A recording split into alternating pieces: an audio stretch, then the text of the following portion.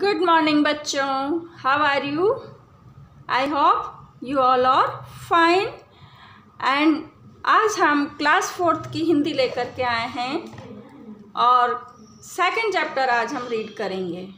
Okay तो आप open करेंगे हमारा सेकंड चैप्टर पिता का पत्र पुत्री के नाम page number twenty twenty one ठीक है?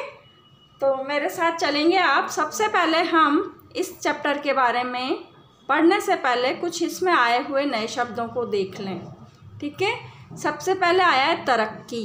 तरक्की का मीन्स होता है प्रोग्रेस करना या विकास करना या उन्नति करना। इसके बाद है अनुदित। अनुदित का मीन्स होता है ट्रांसलेशन करना, यानी अनुवाद करना। जैसे हम हिंदी का इंग्लिश में करते हैं इंग्लिश का हिंदी में करते हैं या किसी अदर लैंग्वेज में भी कर सकते हैं। इसके बाद आता है तुकबंदी। तुकबंदी होती है किसी भी चीज़ को लय या ताल में गाना। ठीक है? उसके बाद आता है मुल्क। मुल्क उर्दू का शब्द है। इसका अर्थ होता है देश कंट्री उसके बाद आता है रिवाज। रिवाज हमारे यहाँ बहुत सारे रिवाज हैं, बहुत सारी परंपराएँ हैं। हाँ? खा खा। खा खा हम बोलते हैं हमारे मैप को, यानी मानचित्र को, जिसको हिंदी में मानचित्र कहते हैं या नक्शा कहते हैं। ये होता है खाका इसके बाद आता है सभ्यता। सभ्यता का मीन्स होता है हमारी जीवन शैली कोई किस किस तरह का जीवन जीता है, कोई किस तरह का जीवन जीता है, पुराने लोग कैसा जीवन जीते थे, वो इसमें बताई गई है।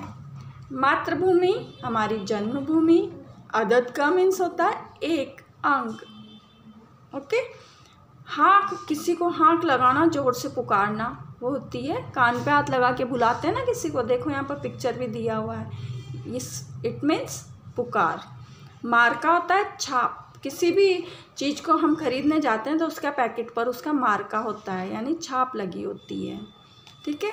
इसके बाद आता है ज़िक्र। ज़िक्र भी एक उर्दू शब्द है। ज़िक्र करना मतलब किसी के बारे में चर्चा करना, किसी का वर्णन करना, उल्लेख करना। मुनासिब भी एक उर्दू का शब्द है और सबब भी एक उर्दू का शब्द है। मुनासिब का मतलब होता है सही या उचित। हाँ ये ठीक है। हाँ ये मुनासिब है। कहते हैं ना हम, सबब होता है कारण। ठीक है? तो ये कुछ शब्द हमारे इस चैप्टर में आएँगे जो हमने अभी पढ़े। अब हम स्टार्ट करते हैं हमारे चैप्टर को। ठीक है? चैप्टर को स्टार्ट करने से पहले मैं आपको बता दूँ कि इस चैप्टर में पंडित जवाहरलाल नेहरू, जो कि हमारे भारत के प्रथम प्रधानमंत्री थे, आप जानते हो, चाचा नेहरू को, जिनका हम जन्मदिन बाल दिवस के रूप में मनाते हैं चौदह नवंबर को। तो हमारे भारत के प्रथम प्रधानमंत्री पंडित जवाहरलाल नेहरू ने ये पत्र अपनी पुत्री को लिखा था और उनकी पुत्री थी इंदिरा गांधी। आपने नाम सुना होगा। तो इंदिरा गांधी भी भारत की प्रथम महिला प्रधानमंत्री रही। ठीक है ना? तो ये पत्र हम उन्हीं के बारे में, उन्हीं को लिखा हुआ है। पंडित जी के द्वारा। तो स्टार्ट करते हैं। जवाहरलाल नेहरू जी ने पत्र अपनी पुत्र इंदिरा को तब लिखा था जब वो दस साल की थी। ओके? इंदिरा गांधी भारत की प्रथम महिला प्रधानमंत्री थी। उनकी माता का नाम कमला नेहरू था। याद रखने की चीज़ है ये। ठीक है? हिंदी को 14 सितंबर उन्नीस सौ उनचास को भारत की राजभाषा की उपाधि प्राप्त हुई, तभी से 14 सितंबर को हिंदी दिवस के रूप में मनाया जाता है। अब आपसे कोई पूछे कि हिंदी दिवस कब मनाया जाता है तो हम बता सकते हैं कि हिंदी दिवस 14 सितंबर को मनाया जाता है। ठीक है? क्योंकि हिंदी हमारी राजभाषा है, राष्ट्रभाषा है। ठीक है? अब हम स्टार्ट करते हैं। जवाहरलाल नेहरू द्वारा इंदिरा गांधी को लिखा गया यह पत्र हिंदी के प्रसिद्ध लेखक मुंशी प्रेमचंद द्वारा अनुदित है। इस पत्र में भाषा के आरंभिक रूप, लिखावट और गिनती के बारे में बताया गया है। इस पत्र में हमें किस बारे में जानने को मिलेगा?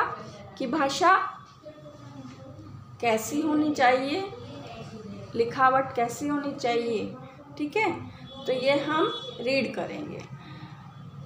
इंदिरा गांधी को ये लिखा, इंदिरा गांधी को लिखा है पत्र जिसको कि ट्रांसलेट किसने किया था? एक महान लेखक रहे हमारे साहित्यकार मुंशी प्रेमचंद, उनके द्वारा इसको अनुदित किया गया।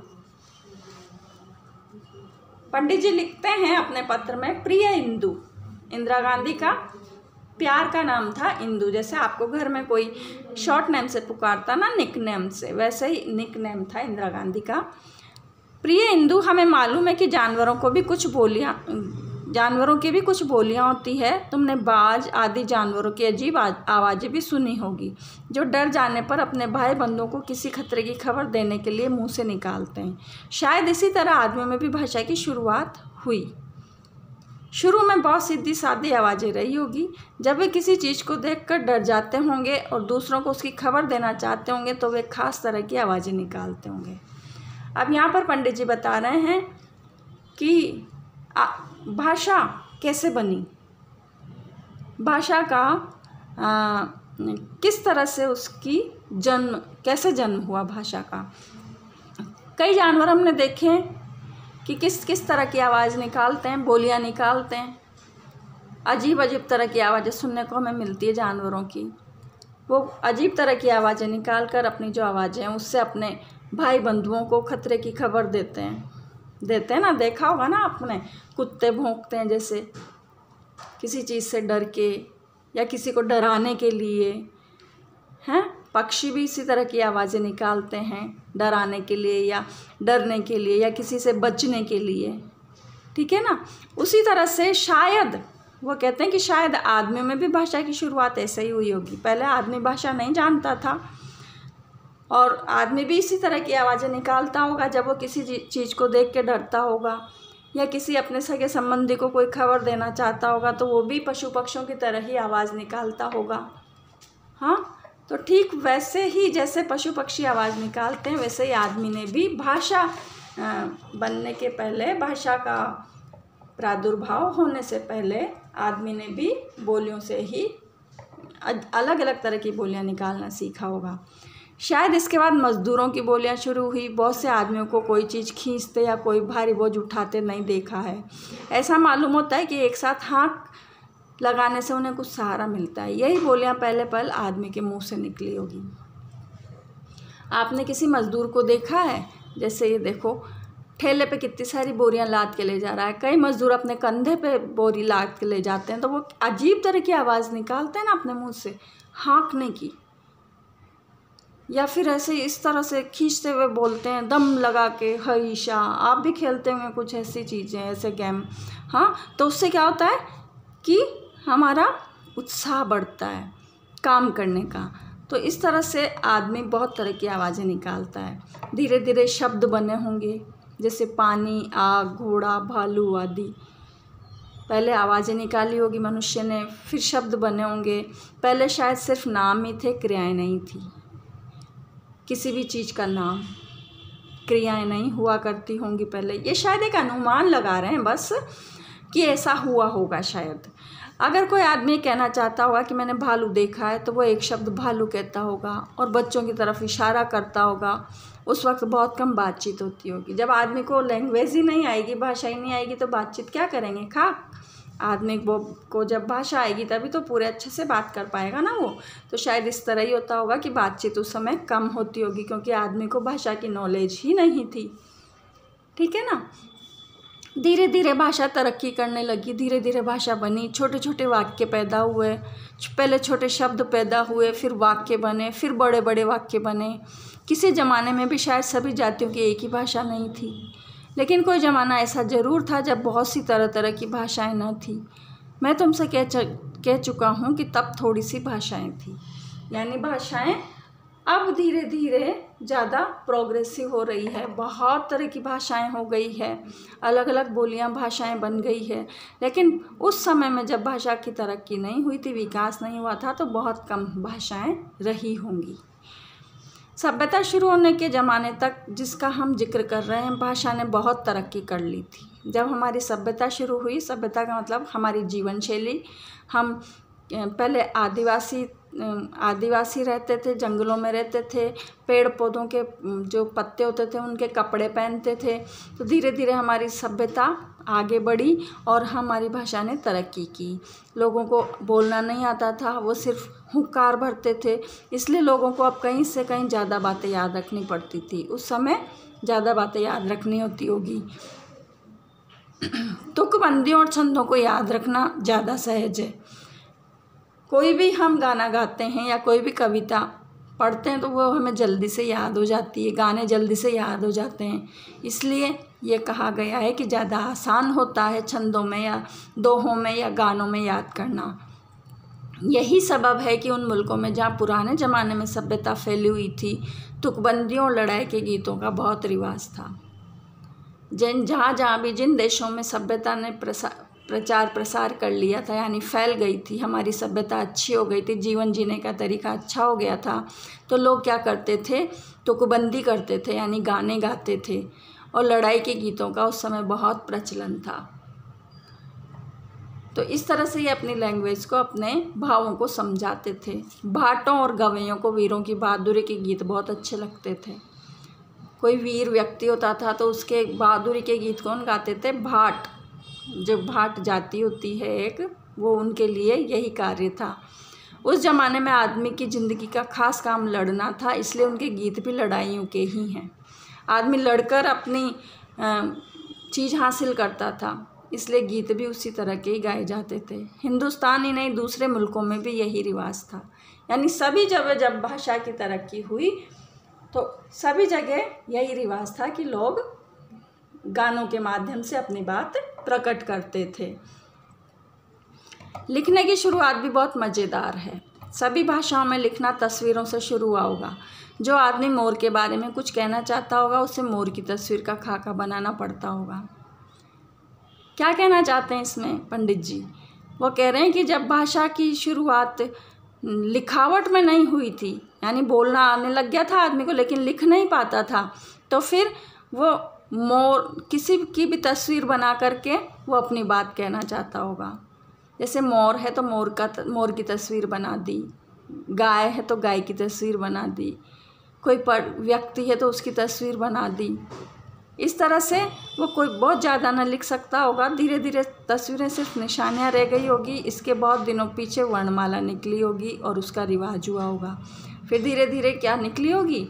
किसका विकास हुआ? वर्णमाला का। पहले पिक्चर से सीखा, फिर वर्णमाला सीखी। उससे लिखना बहुत सहज हो गया। अदद और गिनती का निकलना भी बड़े मार्के की बात रही होगी। अदद मीन्स अंक। अंकों का निकलना भी हमारे लिए बहुत मार्क वाली बात रही होगी कि हमने बहुत कुछ पा लिया। गिनती के बगैर कोई रोज़गार करने का ख्याल भी नहीं किया जा सकता। आप कर सकते हो क्या?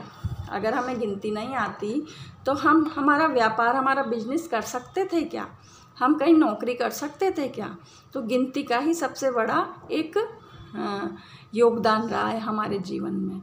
जिस आदमी ने गिनती निकाली, वो बड़ा दिमाग वाला या बहुत होशियार आदमी रहा होगा। जिसने भी गिनती बनाई, वो वास्तव में बहुत ब्रिलियंट आदमी रहा होगा। है ना?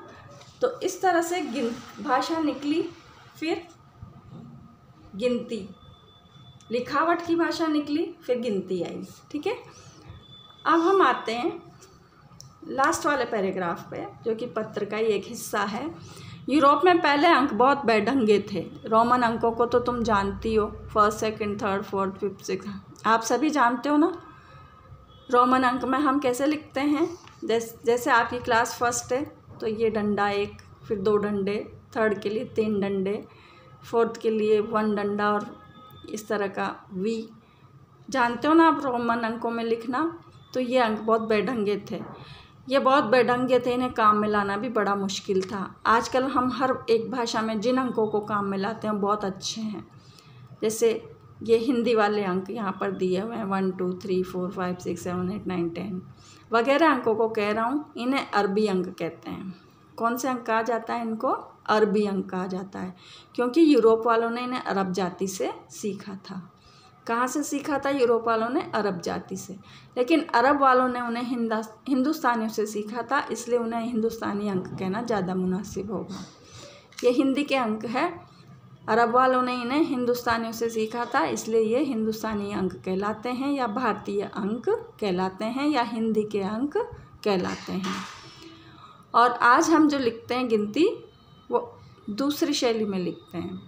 ठीक है ना? तो इस तरह से तुम्हारा पिता जवाहरलाल नेहरू इस तरह से ये पत्र का आ, समापन हो जाता है। एक थोड़ा सा अंश है पत्र का जो पंडित जी ने इंदिरा गांधी को लिखा। तो इस पत्र के माध्यम से क्या कहना चाहते हैं?